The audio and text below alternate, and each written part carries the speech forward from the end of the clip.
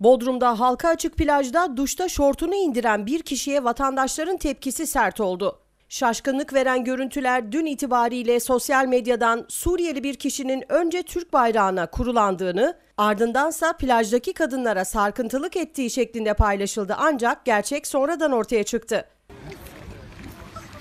Sosyal medyada paylaşılan görüntülerde yaşanan olayın 7 Haziran Cuma günü Karaincir plajında yaşandığı ortaya çıktı. Bir tekneyle Karaincir koyuna gelen EAP isimli bir kişinin ilk olarak teknesinde şortunu indirerek çevredekilere cinsel organını gösterdiği iddia edildi. Bu anları görenler durumu 112 acil çağrı merkezine ihbar ederken daha sonra plajda denize giren EAP yüzerek sahile geldi.